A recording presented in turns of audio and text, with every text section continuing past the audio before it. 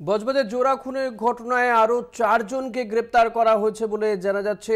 বজবজে পুরনো শত্রুতার জেরেই এই খুন বলে প্রাথমিক অনুমান ছিল পুলিশের। গলার নলি কেটে খুন করা হয়েছিল এবং সেই ঘটনায় আরও চারজনকে গ্রেফতার করেছে পুলিশ। আজ ধৃত চারজনকেই আজই আদালতে পেশ করা হবে। বজবজে জোড়া খুনের ঘটনায় আরও চারজনকে গ্রেপ্তার করা হয়েছে। পুরনো শত্রুতার জেরেই খুন বলে অনুমান ছিল পুলিশের। বজবজে জোড়া খুনে আরও চারজনকে গ্রেপ্তার করেছে পুলিশ এবং ধৃতদেরকে আজই আদালতে পেশ করা হবে।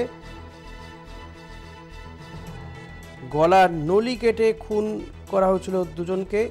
সুব্রজিৎ রয়েছে আমার সঙ্গে। সুব্রজিৎ, এই যে চারজনকে গ্রেপ্তার করা হয়েছে, তাদের সম্পর্কে কি জানা যাচ্ছে? এই জোড়া খুনের সঙ্গে এদের সম্পর্কই বা কি? দেখে একেবারে এই যে বজবজে জোড়া খুনের ঘটনা ঘটে, গত শনিবার এই ঘটনা ঘটে এবং ইতিমধ্যেই কিন্তু বজবজ থানার পুলিশ যার বিরুদ্ধে অভিযোগ ওঠে, অসীম বৈদ্য সহ চারজনকে মোট গ্রেপ্তার করেছিল এর আগেই। বিগত আজও কিন্তু চারজনকে গ্রেপ্তার করে আলিপুর আদালতে পেশ করা হয়। জানা যায় অভিযুক্তদের নাম শুভজিৎ বর্মন, গোপাল বর্মন এবং সোমনাথ মণ্ডল, অভিক সর্দার। মূলত যাদের আগে গ্রেফতার করা হয়েছিল তাদেরকে জিজ্ঞাসাবাদের পরেই কিন্তু এই চারজনের নাম উঠে আসে এবং সেই কারণে কিন্তু এদেরকে গ্রেফতার করা হয় বলে জানা, এমনই জানা যাচ্ছে পুলিশ সূত্রে। এদেরকে আজই আলিপুর আদালতে পেশ করা হয়।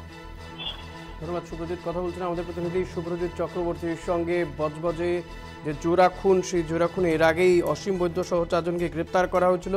আজ আরও চারজনকে এই ঘটনার সঙ্গে জড়িত সন্দেহে গ্রেপ্তার করা হয়েছে। তাদেরকে আজকেই আলিপুর আদালতে পেশ করা হবে।